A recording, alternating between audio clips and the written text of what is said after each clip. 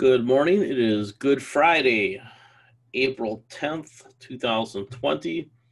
And let's talk a little bit about what's going on for after coronavirus, even though we're not anywhere close to the after. First off, um, we want to talk about the slow growth forever economy and the impact that the coronavirus is having. And what we should consider is this in the slow growth forever global economy, we know that aging demographics have a massive impact on the growth of the economy. We know that as the average age of the population gets older and people become retired, that spending slows down. And I have some graphics to show you that should make it abundantly clear that the challenges of the aging population um, are significant and that we should not dismiss those as the major macroeconomic theme of our lives.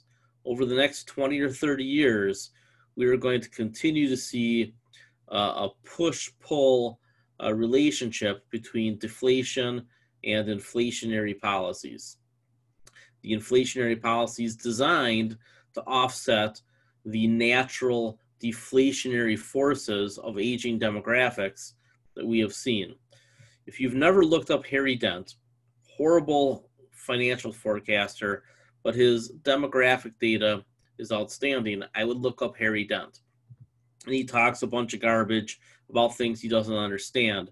But if you stick to his demographics, uh, what you will find is that it's very easy to understand. And those challenges present us with the large secularly challenged economy that people like Larry Summers, Neel Kashkari, all sorts of smart people keep pointing out.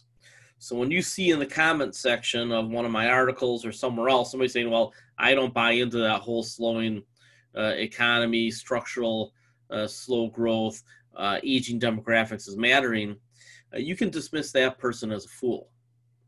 So we have always known that demographics are destiny. So the velocity of money has been slowing for years. Um, I talked about the need for helicopter money to jumpstart the economy in the last several years. It's happening way sooner than I thought it would happen. I thought that we'd wait for a different crisis, the failure of the retirement system. However, coronavirus has accelerated a lot of things.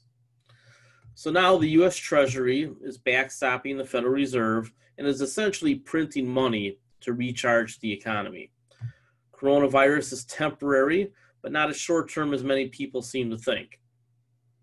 The economy will not recover lost GDP until 2020 22. Um, in 2020, uh, we will see a shrinkage of the GDP.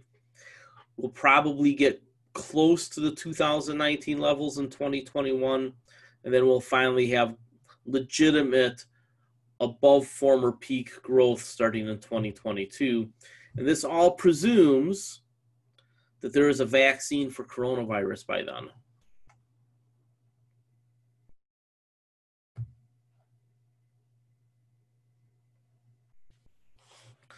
So there's these charts all over the place. This one is from the Census Bureau, and it shows that the uh, growth of the over 65 population is much faster than the growth of the under 18 population. And under 18 is what we really would like to see be the higher number if we were going to grow the population of the planet forever, which of course is a bad idea. So that's another thing that you can dismiss out of hand is people saying, well, we should just have more babies to fix all this. Uh, duh, eventually resources get scarce, and we're going to actually run into that in the 2020s due to lack of investment.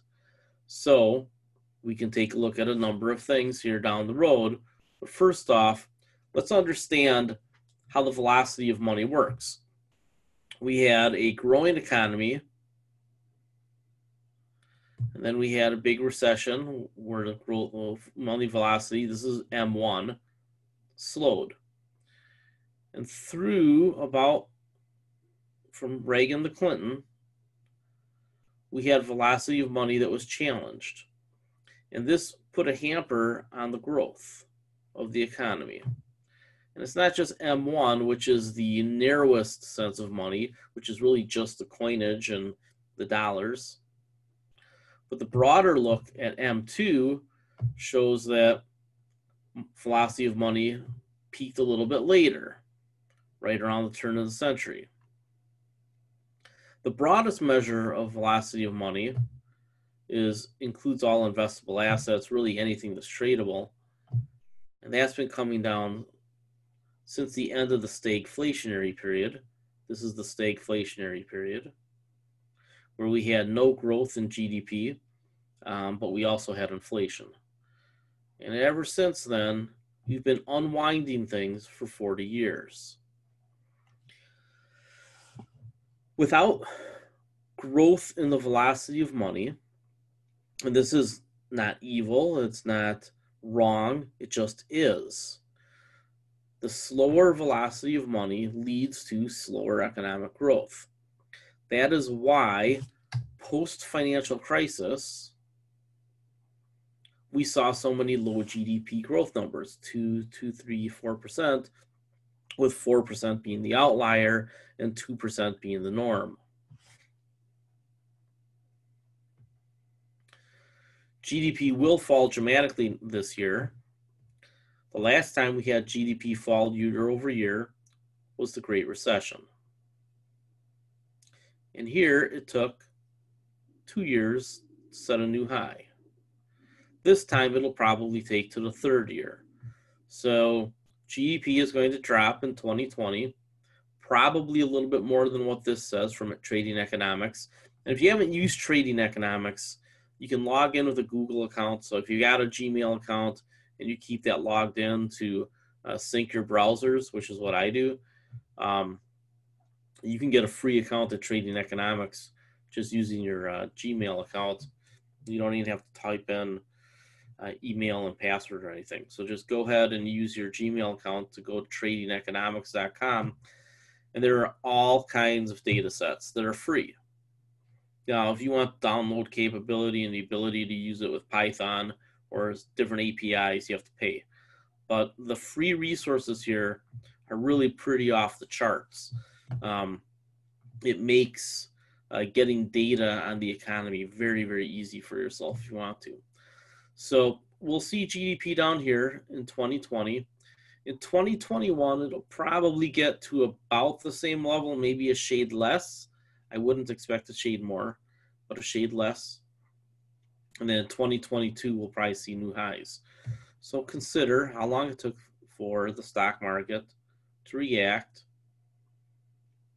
here, where we had the initial rally of the stock market in 2009, 10, 11, 12, and then we got a two-year period where it went nowhere.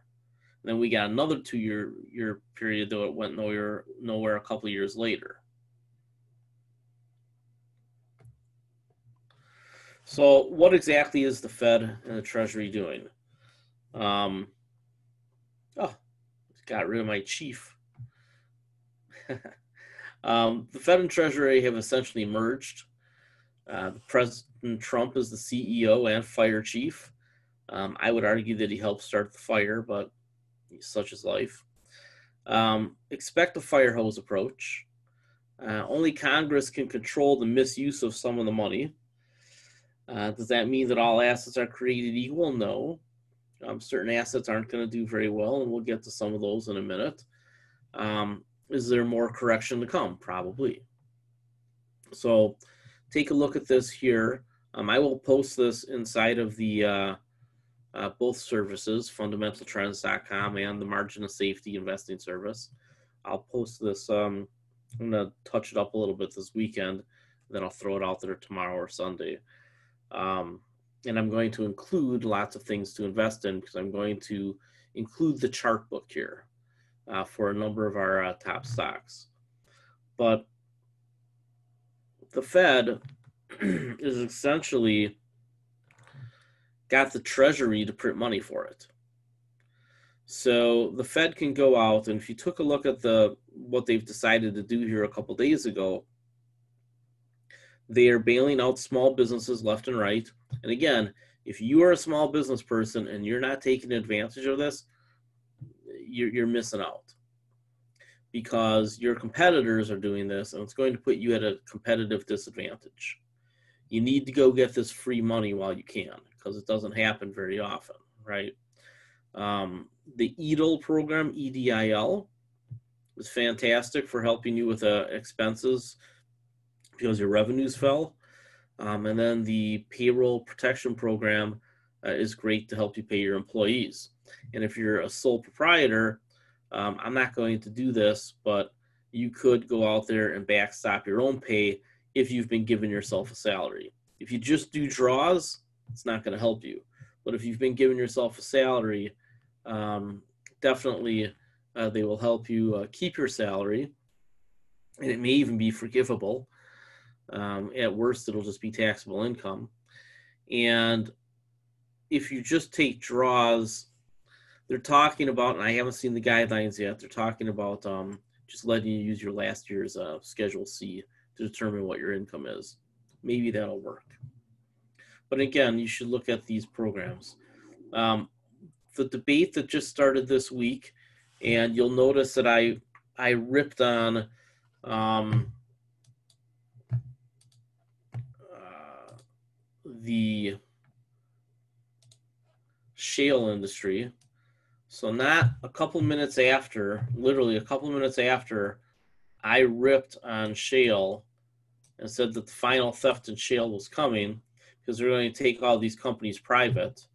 Uh, Occidental Petroleum came out and asked for a federal bailout. Why? Because the um, OPEC plus uh, oil cut wasn't as big as everybody wanted it to be, and it's going to be a lot more slow moving because really Russia's contribution is just to stop drilling. They're not going to close anything, neither is Saudi Arabia. So the drop in oil demand is the green line here. Probably take a year to two years get just back to where it was, probably two years, 2022. And the cuts, um, I projected going from 100 down to 95. So I projected, you know, I just guessed but I, I based it on a range of four to eight million barrels that they would cut. And I'm still going to stick with five because I don't think they'll actually cut all 10 that they promised. And then shale is going to fall off as well. So at the end of the day, um, you probably see total oil production get down to around 94 barrels, 94 million barrels a day for a hot minute at the end of the year. But this glut is massive. It's the biggest glut in history. So it's going to take a very long time for the price of oil to get to 60 again. Now, I do think it's going to go from 20 ish to 40 ish relatively quickly within a year, you know, by next summer. Um, but by then, you're going to have a lot of shale companies that have gone broke. And I pointed out three stocks in this article sell Occidental Petroleum, sell Hess, sell Continental Resources. And I think the timing is pretty good because all of these stocks had rallied a little bit um, for about what two weeks, and they came off their bottoms. Every one of these companies is going to set a new low. I have no doubt in my mind, uh, because if you take a look at their finances, they're all essentially broke. Uh, they don't have enough assets to cover their debts. So if you go to Occidental Petroleum here, says total assets 109 million, long-term debt 40 million. And then other liabilities are much higher because you have to take into account production. So just producing costs them more liabilities. Let's take a look at long-term debt minus total assets. 40 billion in long-term debt is real total assets of 109 billion is imaginary. If they really had 109 billion dollars in assets, don't you think that they could turn around and sell 40% of it and be a debt-free company that just only had 60 billion in assets? The reality is that their assets and the assets of almost everything on here is worth about half, give or take, of what they report. So are they lying? Partially.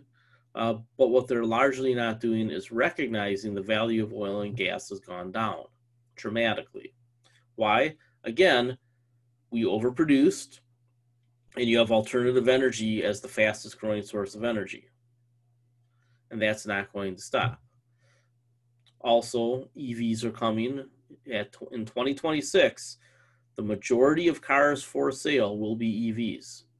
Every car company has said so. So unless they're lying and all the billions of dollars they're pouring into changing their uh, plants is wrong, uh, and that they're going to reverse course, you're not going to have a lot of internal combustion engine vehicles for sale starting in 2026. That'll probably be the last model year for a lot of cars. And I believe the coronavirus is speeding up this trend as well because you see companies like GM and Ford transitioning some of their factories to help with medical supplies. I have a question. Why would they transition those companies back?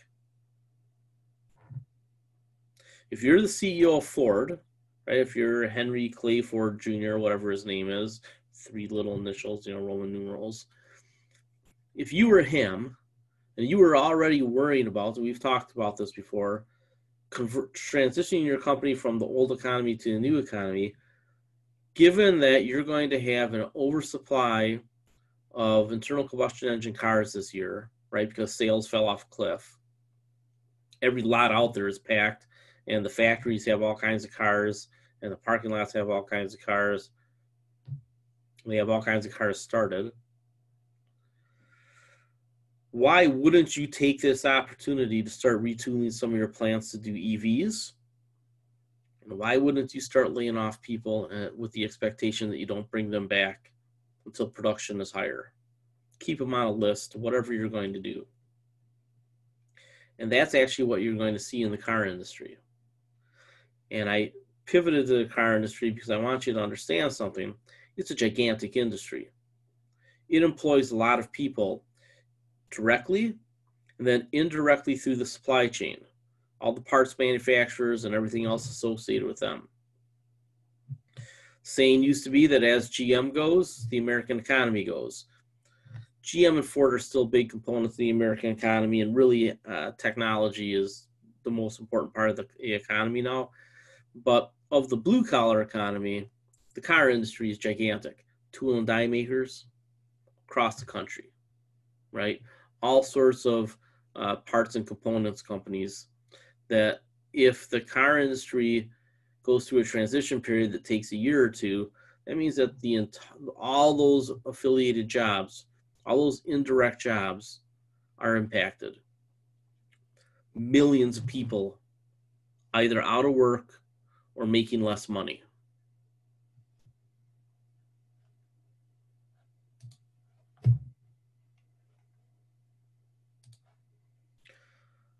So how does that impact velocity of money? If we have higher unemployment, which I've talked about before as being the thing to watch for how the economy is going to go in the short run and how the stock market will go. So not only do you have restaurant workers and hotel people and cruise people out of work, but it's a lot of small businesses that were making parts for the auto industry. It's huge. And it's a lot of industries that were on the cusp of having to make a decision about whether to upgrade or retire. And I'm telling you right now, and I've heard this from 15 people at least so far, all people in their 60s and 70s that have businesses. They're saying, look, I'm going to take all the aid I can get. I'm going to write out the unemployment. I'll try to sell my business, but if not, I'll just sell the real estate. And that is going on across the uh, just across the economy. the transition period for a lot of these companies coincides with the wind down to retirement for a lot of these baby boomer owners. A lot of these businesses are going to close. So if you are an entrepreneur, this should be nirvana for you.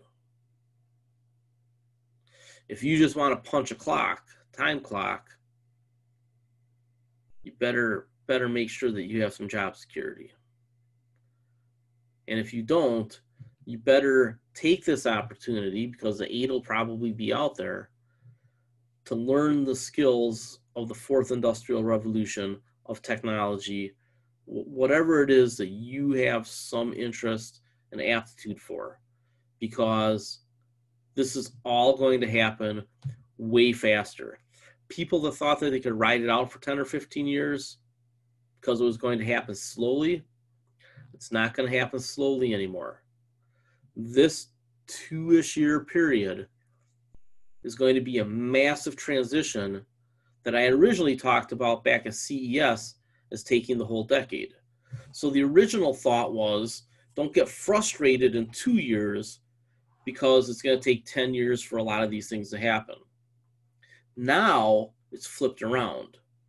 You need to expect a lot of these things to happen in the next two years. Industry is going to undergo a massive change. They're shut down right now, they're making decisions about the future, and a lot of them are not going to decide, I'm just going to try to go back to the old way and write it out. A lot of them are taking this downtime to reposition for the future and think about all this debt that's being created that's just going to get poofed away someday. And it's never going to come off the Federal Reserve balance sheet again. Why? Because when they tried to get rid of it, stock market had two years where it didn't do anything. So what they're doing is they're basically bailing out everything investment grade and up. And debt that fell from this level down one level is allowed to participate, which is a lot of debt. So you have a lot of borderline investment grade debt that became junk debt that's still going to be part of these bailouts. That doesn't mean the companies don't have to pay the bill. It just means that they uh, are going to have a lot easier time doing it but that doesn't mean they're good companies. As I've identified and been telling you about for months, there are over 100 companies in the S&P 500 that have essentially zero growth and probably never will. I'm going to start shorting these companies uh, at some point. Uh, several of them I think I'm going to short imminently so you might want to take a look at fundamental trends. If you're on margin of safety and you're interested in short trades and swing trading, take the $99 add-on that I set up um, for fundamental trends. And I'm going to put out one or two or three trades every week in an article called Swinging for the Fences. And these are small trades you can make that might have 10 and 20 and 30% upside if we catch the timing right. That means that you're going to fail a lot of times. That means that two out of three trades probably don't work. But the one that does work is going to more than triple. So you have to look at it as an aggregate game rather than well I'm trying to I'm trying to get 90% of my trades right. Well, then you're not going to make a lot of trades. And you're not going to be able to uh, roll for the jackpot. So some of the trades we're going to make are going to be jackpot trades, looking to make three, four, five, 10, 20 times your money inside of usually six weeks. The problem is, like I said, two thirds of the bets will just go to zero or, or, or way down quickly. In general, we should make money double to triple the rate of the stock market. If the stock market is normal. And that's actually a problem right now because the stock market isn't normal. Right now, we know that the stock market is heavily manipulated by the federal government, and that means that the long term bias is clearly up. I believe that we have one more wave down coming on this correction. And I have been buying puts on the S&P 500 in the last week, speculating on that. So this is 2008 9 and this is today. Looks very similar. It's just more condensed correct? This took three quarters. This is going to take three months so i expect sometime in the next week to two weeks but i think I think this week coming up, the stock market hits its level. It's a new rally mode, and it, and it could break out even higher. You know, it could go all the way up to right around here. It could. It shouldn't, but it could. And then drop. So it's either going to get in here and fall, or it's going to go all the way up to about this level and not be able to push through and then fall. So it's either here or here where this market turns around. According to this research firm, and I tend to agree with them, um, the way the lines work is they hitting these uh, Bollinger Bands, and that has been a pretty good indicator um, for when things should turn around. So I would expect that you can probably buy puts this week. So which puts? So here's a hedging trade for you. Buy the May S&P 500 puts, buy puts. Strike range of 230 down to 220. I probably own more than one.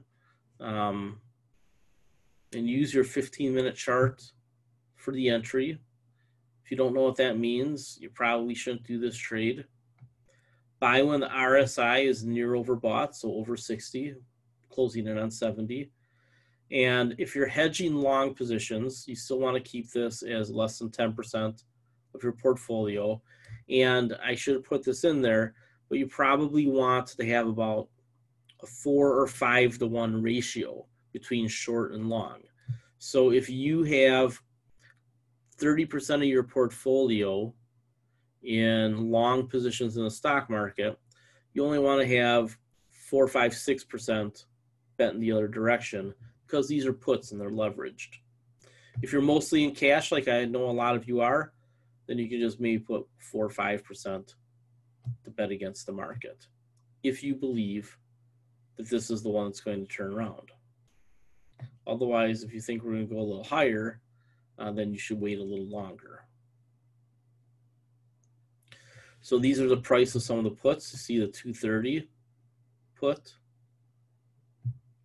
It's trading for under three dollars. I got it for 340, so I'm a little underwater yet. I I really need this to turn around soon uh, because I still want to have some um, time value.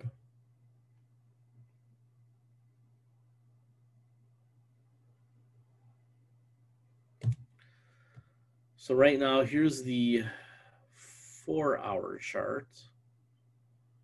I'll verify that I had a slide problem earlier. I'll make sure I'm on the four minute chart. There we go. There you go. Yeah, four hour chart. So you see the four hour chart is overbought.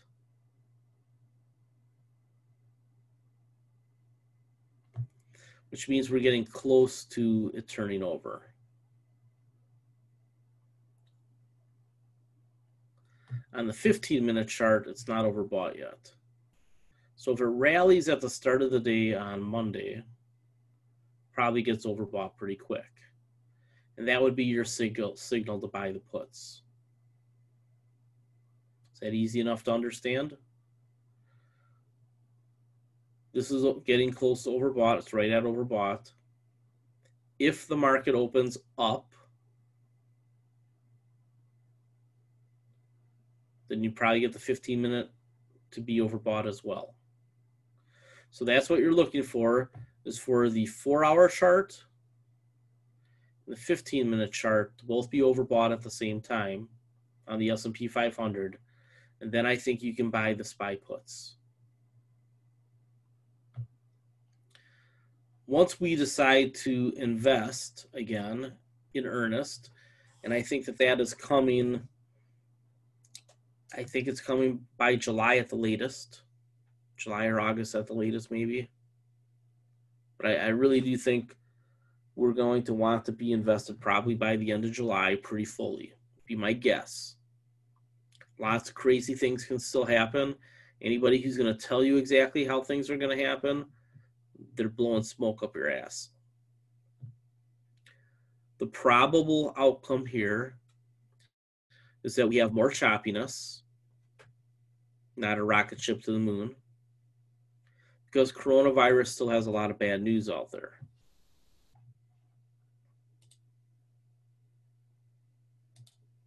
I showed you the John Hopkins chart before. It hasn't really turned over yet. It's still increasing. So think of this like the slow growth of oil demand. Coronavirus increase in infections is slowing, but the increase in infections hasn't gone down yet. Coronavirus infections are still increasing. We need this line to turn over because then it means the rate of coronavirus infections is decreasing. So right now the rate is still increasing. It's just increasing at a slower rate. We really need this curve to point down. This is the initial ramp up, plateaued. It looked like it was going to turn over here. It didn't. It started going back up again. What we don't want is for this curve to look like it's plateauing and then turn back up again.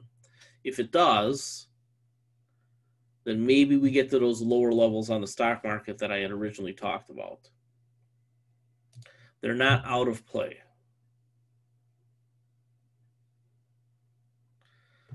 It's not impossible for the stock market to set new lows and go way down here 19, 18, 17, 1600 on the SPY. If we have a setback with coronavirus, that's what will happen. If we're smart, we keep the economy shut down till the end of May, and then probably go to the point where um, we allow everything except groups over 50. So groups over 50 probably not allowed until there's a vaccine. Um, but anything up to that probably allowed and probably going to have to limit certain things. But I think, you know, we can get to the point where if that curve gets put all the way on the ground, that's when you get your um, groups over 50 again. That's when baseball opens up. That's when casinos open up. And there's a possibility that can happen over the summer if we're not stupid and try to open up too fast. And consider all this money, which is going to be inflationary. Why do that if we're just going to let the disease come back? We need to beat it to the ground, make it scarce, and then come up with a vaccine as quickly as possible. And again, I know some of you hear these things about herd immunity. There are a lot of diseases where there is very little to no herd immunity without a vaccine. This disease seems to reoccur either by laying dormant, like HIV, or you just get it again, like any other cold. We don't know which it is yet, but we know that this thing you can get it more than once or that or you just never got rid of it so it's important that we beat down the transmission as much as possible and then come up with a vaccine. In a perfect world, you know, we can come up with a vaccine by November. I think that the odds of that happening are extreme long shot, but it's possible uh, because we do know that there will be two to four vaccines being tested right around. They're going to start right around Labor Day.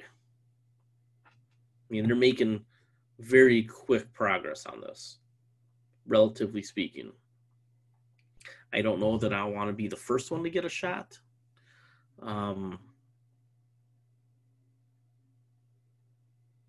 but I think that we're, we're, we're going to be to the point where we're getting vaccinated within a year. You're 18 months on the outside, but I think within a year. And I still think that although November is aggressive, I could definitely see them taking a shot at that. Right? The early your early people might be able to get the shots in November. We'll see. Uh, December, January, February, much more likely, and about this time next year, even more likely. So I would think that at some point we're getting these shots along with our flu shots. In any case, this is typical of what happens. Three waves down.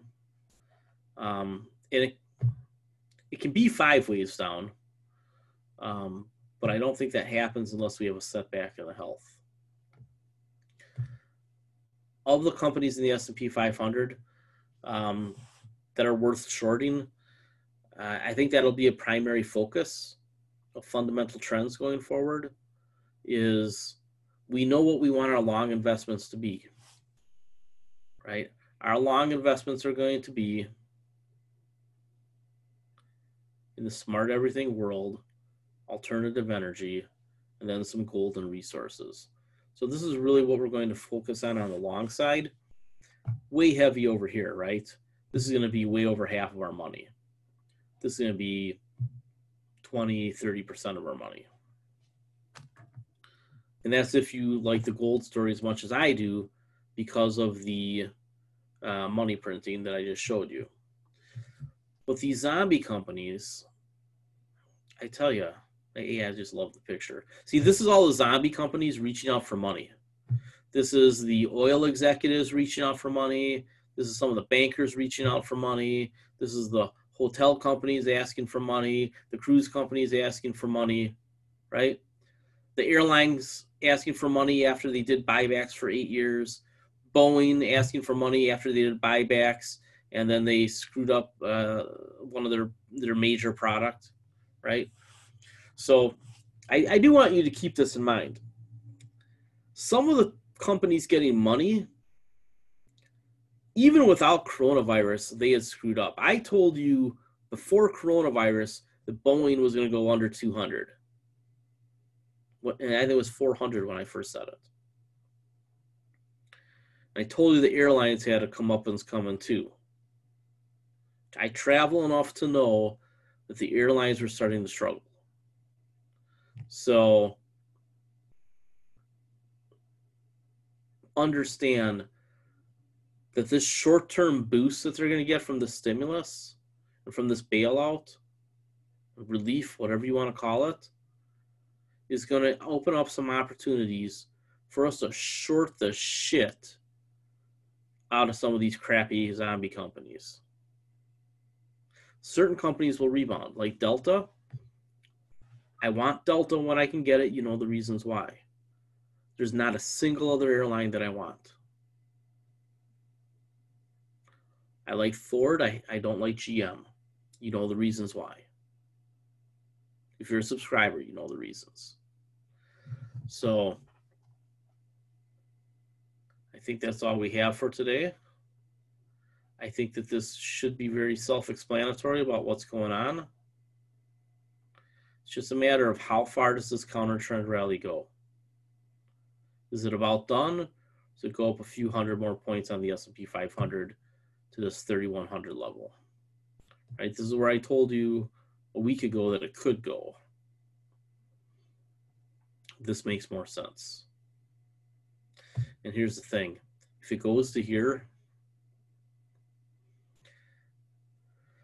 think of something falling off of a table, it gathers, it gains velocity, right? So from way up here, much more likely to get the terminal velocity crash through this level.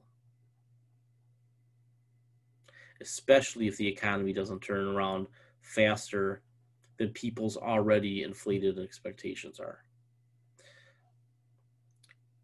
In this zombie group, there are a lot of office REITs.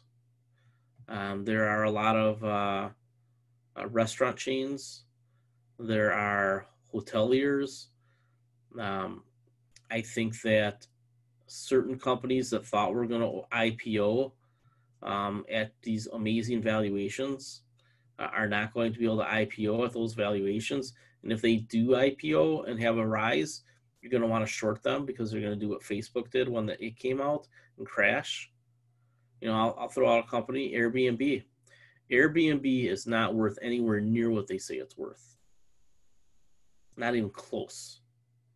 And in fact, I am unlikely to ever use an Airbnb again. I have one reservation for Vegas. If I get my money back, I'll get my money back. Um, I'm never going to do Airbnb again, except maybe for some luxury stuff. Um, if there's a special place I want to go. The medium to low end Airbnb is in massive trouble. Why? Because there's going to be so much hotel capacity as the baby boomers start to die off and they've already overbuilt that the hotels are going to be very competitive. Airbnb is toast as far as I can tell. You know, Vrbo, which is the higher end, I think is is is, is fine. I mean, take a look at some of the Vrbo properties, but other industries are in big trouble. Um, industries where they have to go through huge, expensive transitions are in trouble. But there's usually one or two cherries that you can pick out and be long without having to be anywhere else in the industry. I think the automakers are like that. I think you can trade Tesla, and I think you can buy Ford at some point. Maybe now, maybe down a buck. I don't know, but soon. The rest of the auto industry, they have to spend an awful lot of money. You know, and I, I just think that the American economy is going to be so much better than everybody else's over the next 10, 20 years, uh, with the exception of a handful of small caps. I want to find here this chart. See Japan, China, and Europe? They're in big trouble. I mean, we have problems. They have trouble. Their populations are so old, there's no way they can take care of them without having to print a lot of money.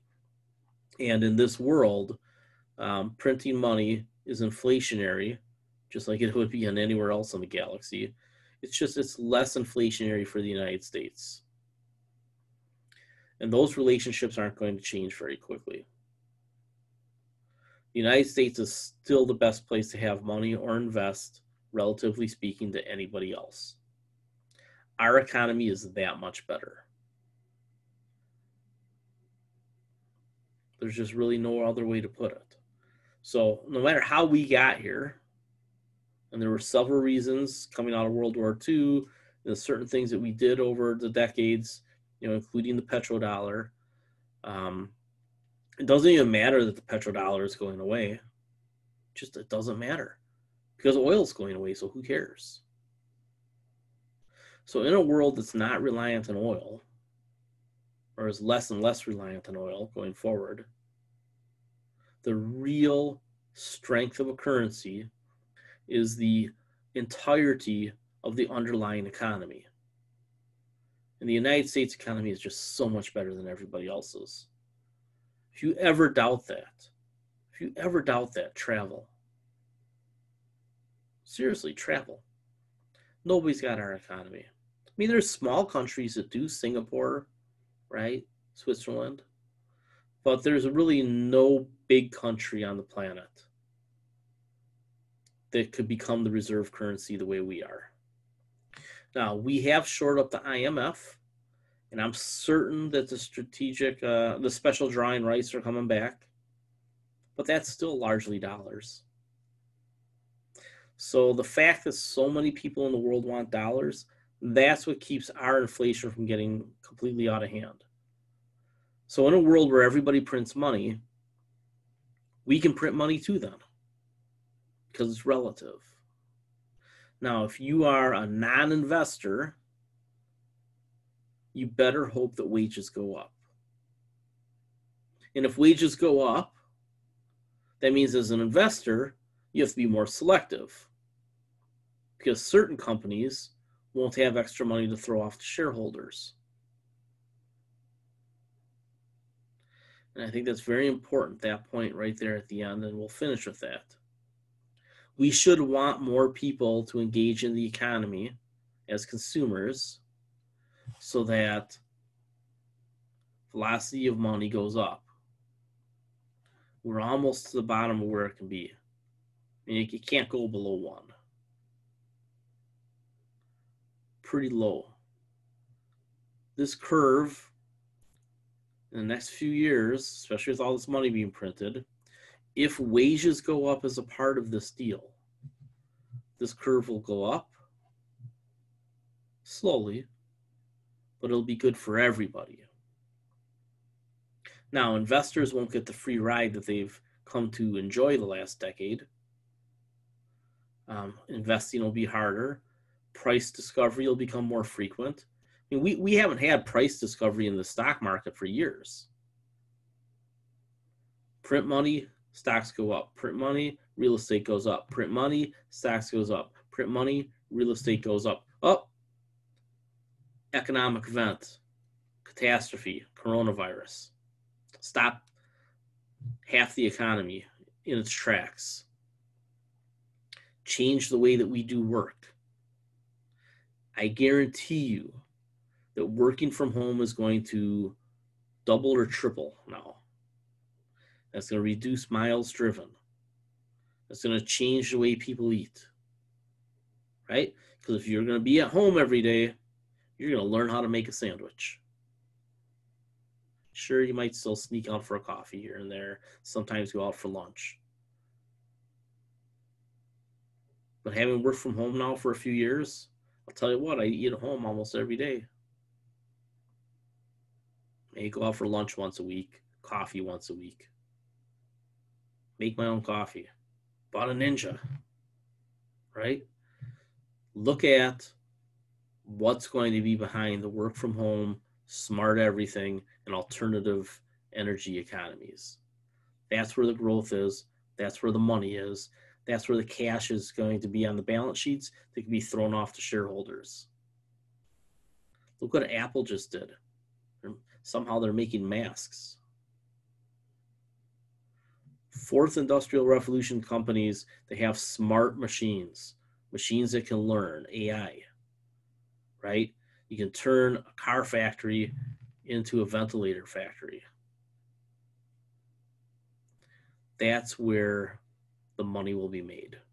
Fourth industrial revolution, smart everything world, alternative energy, biotech, all the things that we've talked about. All right. I hope everybody has a great Easter. This too shall pass. Um, and there's really a lot of money to be made here. And I am frankly at that point in my life where I just want to make a lot of money. So you are catching me at 25 years of experience, overeducated for what I do, and hungry. So keep an eye out for the Swinging for the Fences articles of Fundamental Trends. Because, uh, you know, my boy, you know, Chanos is from the Milwaukee area. So I got to impress him. Um, there's also going to be some trades with our long investments where we can take a little bit of leverage. So we will take a look there and um, we'll keep up on it. Uh, I know that Easter celebrations might be a little subdued this year, so hide some extra candy for the kids. My girlfriend and I are going to hide candy for each other, maybe play a little game. um, have a couple extra eggs, and uh, you know, have a good day and you know, watch some classic uh, baseball on TV. Take care, everybody.